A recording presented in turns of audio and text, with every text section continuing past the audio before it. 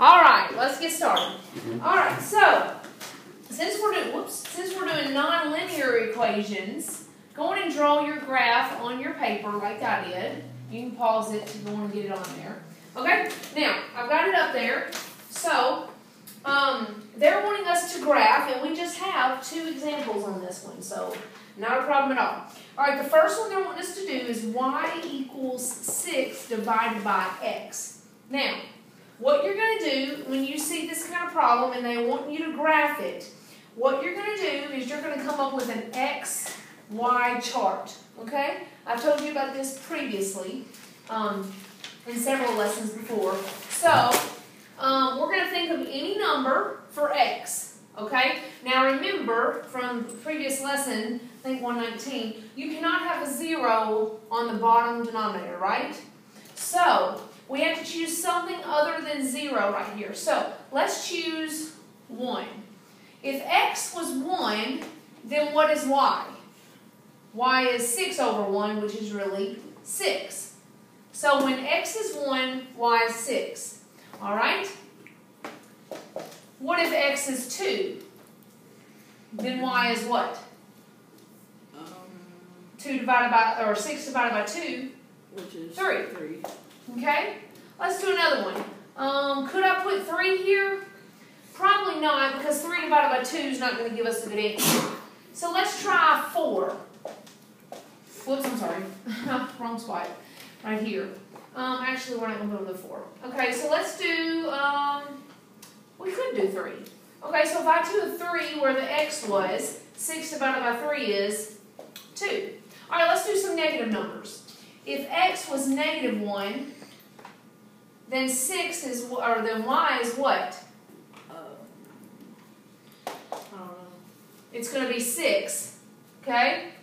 Not negative. Actually, it's going to be negative 6. You're right. Okay? And then if x is negative 2, then y is going to be negative 3. Right? And if x is negative 3, then y is negative 2. Okay, so let's graph some of these. 1, remember this is, oh, Yeah. dear. I am, I'm sorry, I only got three hours of sleep last night, so I am not thinking clearly. There we go. X is this one, Y is this one. Alright, so X is 1, and Y is 6. I'm going to put a dot there. X is 2, Y is 3. X is 3, Y is 2. Okay, let's do negatives. Negative 1, negative 6, negative 2, negative 3, negative 3, negative 2. All right, look at here. What do you see? Non-linear equations. Non-linear, non-linear. Not a line. okay? Non-linear. Okay? Now, that's one of them. Now let's try the next one. We're going to try a different kind of problem, okay? So I'm going to erase these. Okay, and both of these are going to be nonlinear equations. Okay? Here comes another one. This one says y equals x squared. Okay? So again, if I choose x as 1, 1 times 1 is 1. If I choose x as 2, Four. 4. If I choose x as 3, Uh, six. uh, 3 times 3, I did that earlier, 9.